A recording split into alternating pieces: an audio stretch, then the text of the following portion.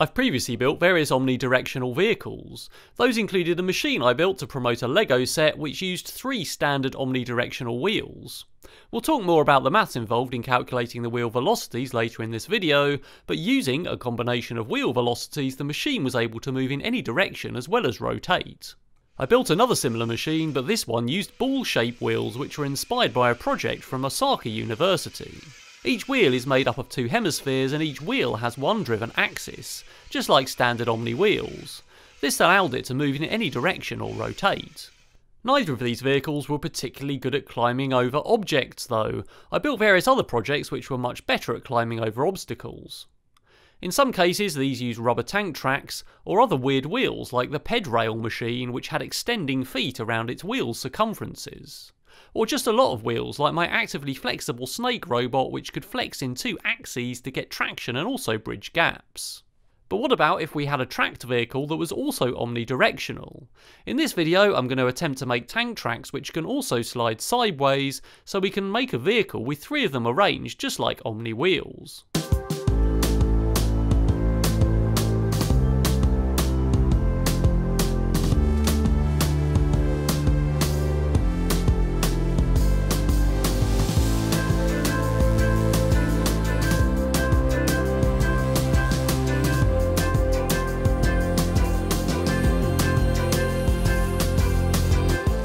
Just a quick ad from my 3D printing sponsor, thanks to LulzBot for supporting my channel with 3D printers.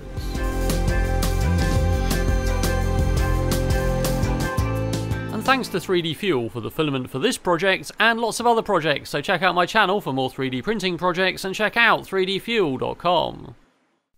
So we need to make some sprockets, and those are made of a bar, which is actually a T5 pulley, and some sprocket pieces which screw onto the end of those. So each of those ends fits onto one of those bars, and there's two ends per bar, so that makes a sprocket to drive both sides of the track. Those are fitted onto some 6mm studding, which is bolted all the way through, with a couple of nuts on each end done up against each other so they don't come undone. Of course we need some tracks to run on those sprockets, so I've printed lots of track links, and those all fit together with some 3mm steel bar that fits through both the front and the back, and as you can see there's a recess and two tabs in each side, so those can all be fitted together to make one long track, and we've got 26 segments per track. So putting them all together, which took a considerable amount of time, we've got a very long track which appears to be quite bendy and seems to be totally suitable for a tracked vehicle. So I'm really happy with how that's come out, it's really very flexible, and even if I bend it around a lot, it doesn't look like the 3mm pegs are going to come out anytime soon. I actually made several sprockets and sized these by trial and error, so I finally got one that runs really well after two or three attempts, so that looks like everything's going to be fine to drive those sprockets, and they should stay on the tracks without the teeth of the sprockets coming out. But, of course, to make an omnidirectional vehicle we need to make them slide sideways as well, so I've printed some TPU wheels, and there's one fitted in each track segment. And I've made these offset from each other on each side of the track alternatively, so that the track gets pretty well supported.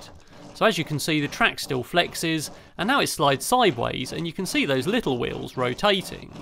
So hopefully this will be sufficient clearance with the ground on those tracks so that they can slide sideways and work just like omnidirectional wheels.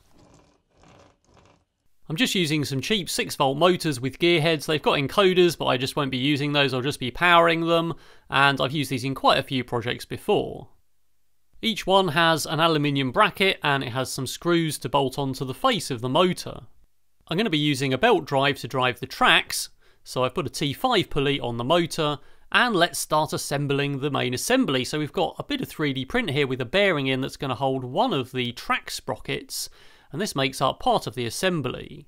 Because of the motor in the middle and the clearance with the track, we've got a little bridge piece that goes on and allows the motor to poke through. And on the other end is another piece with a bearing in which is going to hold the track on the opposite end of the assembly. So that makes up one side of the assembly, and I can now put my two sprockets into my two bearings. As you'd imagine, that pulley on the motor is going to be driving one of the sprockets with a belt onto that T5 shaped bar on the sprocket.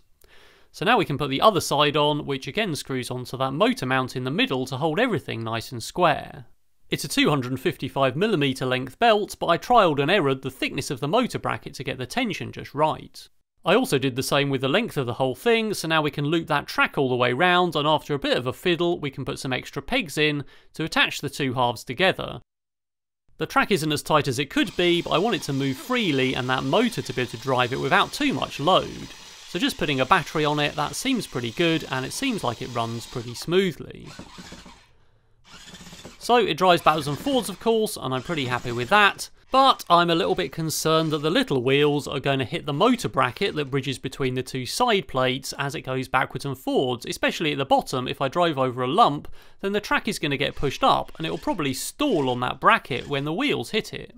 So I've installed two little bogey wheels, which are basically idlers, that are fitted in the bottom there just to hold the track away from that motor bracket. And those are TPU with some spacers and another 3mm axle. So it seems to slide sideways pretty well, so I'm really happy with that. So hopefully this is all going to work out when I use three of them together. And of course I've been building three all along. Those screw onto a triangular chassis as you'd imagine, and basically it's a solid plate on the bottom, and then there's another one to fit on the top to double brace it which has a hole in. But before we can put that together we need to put some electronics in. But first, a quick ad from today's sponsor, Masterworks. What is art? That is the eternal question. In my opinion, art can be anything creative, whether that's a music performance with a fire-breathing robot or paintings and images. Andy Warhol, famous pop artist, said making money is art and working is art and good business is the best art. With work selling for over $100 million, by Andy's definition, he himself is an exceptional artist. And today's sponsor does not only think that making money is art, but they also provide a potential solution to make money in art. When looking for an investment, it's generally something that's stable overall and grows as reliably as predictable. So I was pleasantly surprised to learn about the art asset class risk return profile. The total wealth held in art is estimated to be worth $1.7 trillion, and Deloitte predicts it to grow by $900 billion by 2026. Contemporary art pricing has outpaced the S&P 500 total return by 164% from 1995 to 2021, according to publicly available data, and shows limited correlation to any other major asset class. The only problem? In order to get exposure to this asset class, you need millions of dollars. Until now. Masterworks is the only platform that lets you access their exclusive investments. Masterworks lets you invest in art by names like Warhol, Monet, Basquiat, and other iconic artists. Here's how they do it. Masterworks' team of art experts analyse over 60,000 data points to find trending artists with high potential for growth. They then go out and acquire works by these artists ranging from 1 million to $30 million. And after filing these works with the SEC as a public offering, investors like me and you can purchase shares representing an investment in those artworks. In just a few clicks, you can visit their website, create an account, browse their artwork, and start investing in blue chip artworks. You can gain priority access by clicking my link in the description to this video below. It also really supports the channel, so go and check it out. I'm using some IBT4 motor drivers which are more than powerful enough for those motors and those are three of them fitted in there with space for an Arduino Mega. And I'm using an Arduino Mega because it has lots of PWMs to drive the motor drivers and still has its SPI pins free for the NRF24L01 radio chip and that means I can control this from the OpenDog 3 remote which I use for lots of other projects.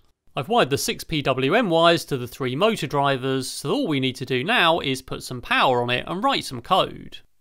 So I've got two 7.4 volt LiPos in parallel which should power everything, so now all we need to do is sort out the wheel velocities. Driving forwards or backwards is easy because we can just drive two of the tracks in one direction and ignore the other one which will slide sideways.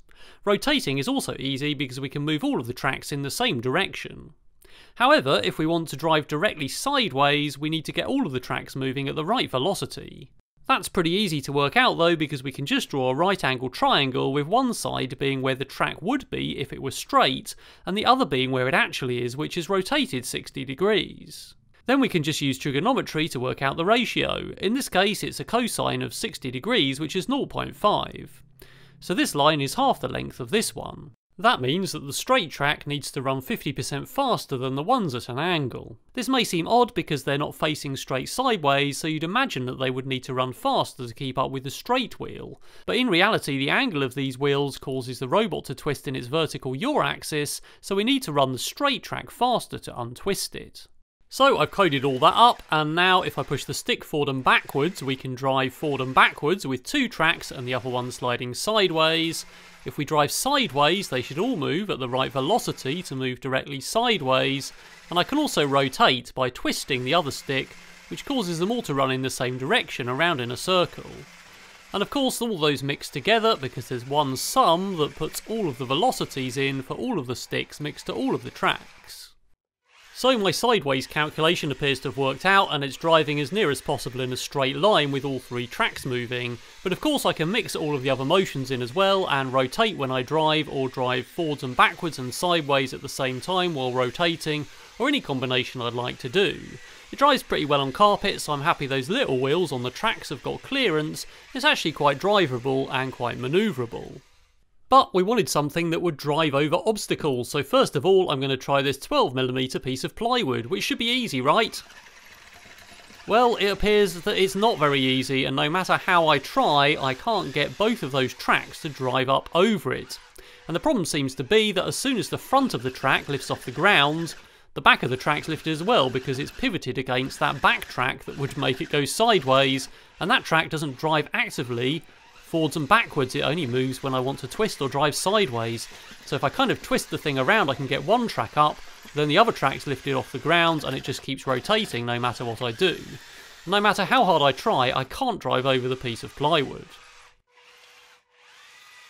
So I thought the TPU wheels would give me some grip because that actually makes the tracks quite grippy, but of course those aren't straight on with the edge so they don't actually touch it and don't help it climb up. It'd be far better if the whole tracks were TPU as well and had some more grips on. We'd have to be really careful they didn't restrict the movement sideways in the other axis. So it's been an interesting experiment and I'd love to make one that's life-size that I could ride on, but it probably wouldn't be very good off-road.